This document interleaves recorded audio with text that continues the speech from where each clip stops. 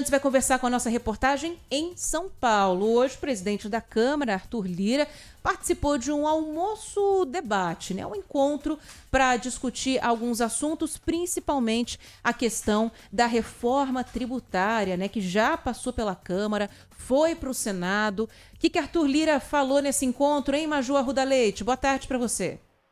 Oi, Ana, tudo bom? Uma boa tarde a você, a todo mundo ligado aqui na Rádio Bandeirantes. O presidente da Câmara dos Deputados, Arthur Lira, responde nesse momento aos questionamentos dos mais de 400 empresários que estão presentes aqui no Palácio Tangará, no bairro do Panambi, em São Paulo. Esse encontro é promovido pelo Grupo de Líderes Empresariais, o LID, e tem o objetivo de debater os rumos da reforma tributária e também as perspectivas do Brasil. Antes das perguntas, Arthur Lira falou por 20 minutos, ele leu um discurso que, segundo ele, expressava o sentimento da Câmara dos Deputados.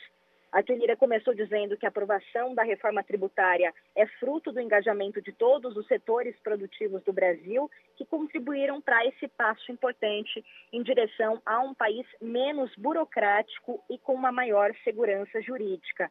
Arthur Lira também fez um aceno ao governador de São Paulo, Tarcísio de Freitas, porque, segundo o presidente da Câmara dos Deputados, se não fosse o apoio de Tarcísio, que comanda o estado com maior PIB, à disposição, essa disposição dele né, em discutir essas divergências em relação ao texto da reforma, a reforma tributária não sairia mais uma vez. E agora, segundo o presidente da Câmara dos Deputados, a luta vai ser para evitar que muitos setores produtivos tenham a alíquota diferenciada, a alíquota para taxar o consumo de bens e serviços.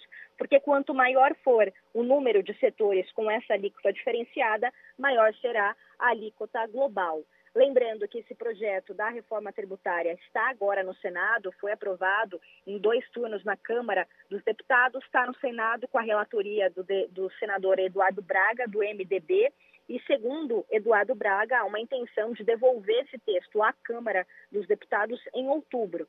E segundo a Turlira, então, ele pretende promulgar ainda este ano o texto da reforma tributária para, assim, no ano que vem, é, fazer ali a regulamentação é, dessa reforma tributária. Também Arthur Lira disse que o próximo movimento do Congresso Nacional é em relação à reforma administrativa, um texto para modernizar o modelo de administração pública do país.